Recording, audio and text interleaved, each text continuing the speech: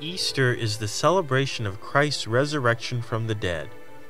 It is celebrated on Sunday and marks the end of Holy Week, the end of Lent, and the last day of the Easter Triduum, and is the first day of the Easter season of the liturgical year.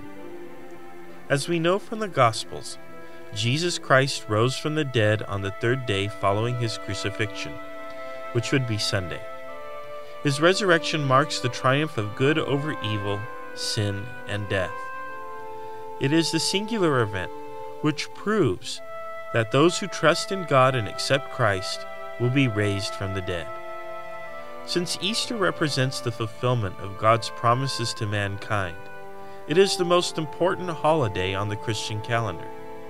Based on direct evidence from the mid 2nd century, it is believed that Easter was regularly celebrated from the earliest days of the Church.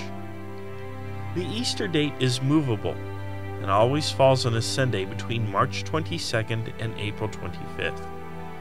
Easter in the Roman Catholic Church is always on the first Sunday after the first full moon after the spring equinox. Many Catholics attend the Easter Vigil. A midnight Mass for sacraments such as baptism are performed. Sunrise services are common, but are distinctly Protestant. Sunrise services gather before dawn and reflect the arrival of the women at Jesus' tomb early in the morning.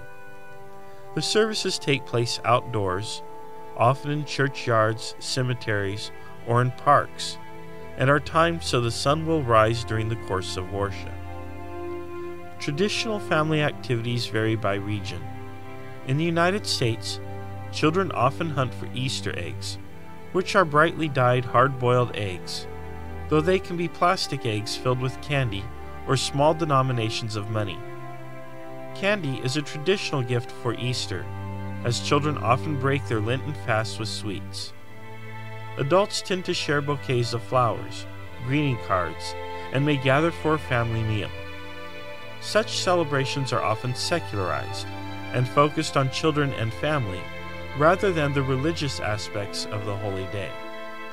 Following Easter Sunday, the season of Easter begins and lasts for seven weeks, ending with Pentecost. Christ